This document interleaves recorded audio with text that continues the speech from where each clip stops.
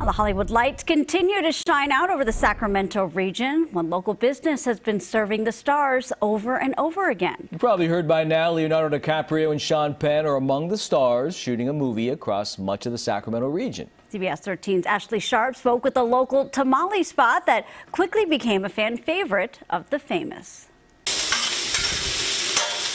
Serving up a hot helping of Sacramento flavor The Leo special. for the famous. Hey, Just thinking about it even gives me chills. Andres Yanez owns Yolanda's Tamales, a Sacramento restaurant and popular food truck.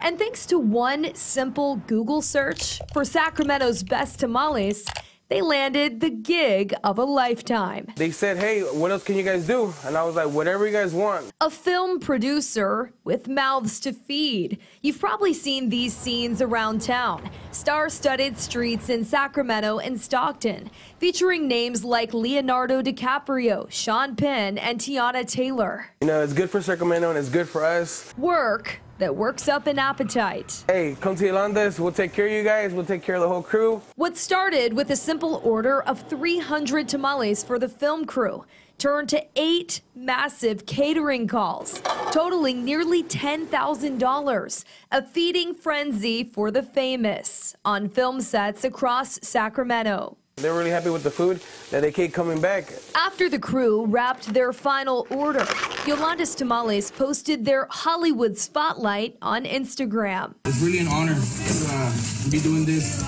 And were blown away by the business boom. The phone was blowing up all day today. by those wanting a taste of what was served up to the stars. It helped us out a lot. And I know it helped out a lot of businesses out in, in downtown as well. They might not be on the big screen, but it's a big boost for a small business, feeding the famous and leaving one open callback.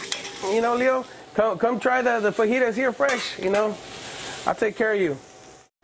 Oh, I will. You're hungry, I know. I'm- I I'm hungry too, yeah. Totally hungry for so that that's now. a wrap in more ways than one with that, Exactly. right? Yeah, you That's bet. That's their new favorite movie, by the way. I think they don't has a title yet, right? There's a working title. A I'm not work- sure. a work in progress, right? But that's the, that obviously that tamale uh, maker's favorite movie. You bet. Don't blame them.